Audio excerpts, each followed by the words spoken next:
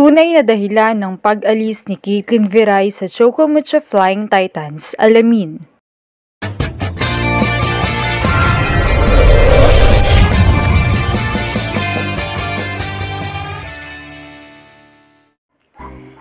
Hindi na nga mapigilan ng mga solid volleyball fans ang iba't ibang emosyon dahil sa lipatan at alisan sa teams na nagaganap. Kabi-kabila nga ang recruitment ng bawat management at coaching staff. Ito na yata ang season na napakaraming lipatan at alisan ng team dahil malamang ay sa pagkadismand ng isa sa mga PBL teams na F2 Logistics kaya marami talaga ang recruitment. Isa nga sa pinakapinag-uusapang lipatan ay ang pag-alis ni Kikon Viray sa kanyang team Choco Mucho. 2021 nga nang i-welcome ng Team Ube si Caitlin bilang bagong recruit.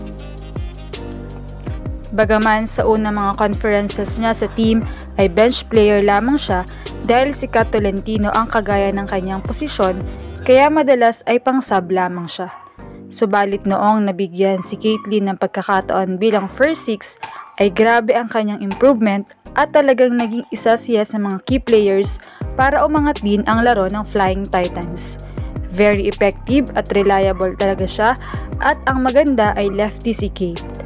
Samantala sa kanyang paglipat ay maraming fans ang nalungkot. Benilikan ang mga larawang kasama niya ang team. Marami naman ang nagtatanong at nagtataka kung anong dahilan ng kanyang pag-alis sa team. May mga konklusyon ang fans na baka tapos na sadya ang contract ni Caitlyn at hindi na siya nag-renew. May ilan namang nagsasabing binigyan ng mataas na offer sa ibang team si Kate kaya mas pinili niya ito.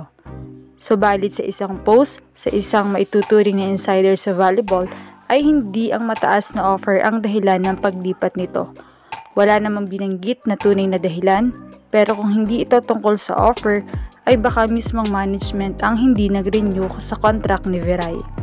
Gayunpaman ay thankful pa rin si Kate sa kanyang pamamalagi sa tahanan ng Chocomucho at niniwala siyang marami pang opportunity ang naghihintay sa kanya. Good luck, Kate!